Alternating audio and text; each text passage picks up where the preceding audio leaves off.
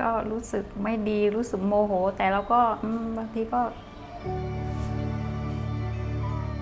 ก็อยู่อย่างนั้นไปก็สนุกก็แกล้นทำเป็นสนุกสนุกไปอะไรเงี้ยบางทีก็ น้องเขาก็เคยมาอยู่ที่นี่ด้วยไงแล้วเขาบอกว่าแต่หนูได้มาอยู่ที่นี่หนูก็ว่าดีมากแล้วค่ะ